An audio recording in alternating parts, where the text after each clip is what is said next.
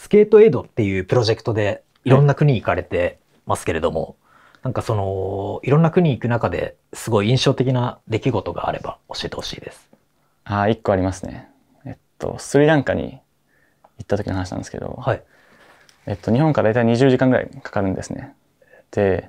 朝5時に一人でスリランカに着いて、まあ、ホテルに行く前にタクシー乗るんですけど、疲れすぎてて、まあ、タクシー何でもいいから、なんか800円ぐらいで取っ連れてってみたいな感じで言ったんですね。そんで、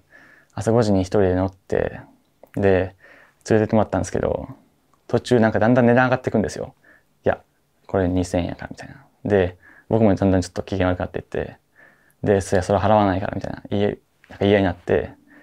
で、なんか、裏路地みたいに連れてかれて、で、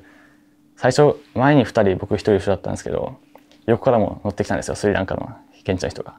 で、僕俺やばいなと思って、で、ドアロックされて、で、6000円ぐらいかな。払わないと出さないとみたいな。で、その時にもうめっちゃ焦って、で、何を思ったか分かんないですけど、めっちゃ関西弁でガチ切れしたら、あの、下ろしてくれました。ちなみに覚えてますか？なんて言ったのか？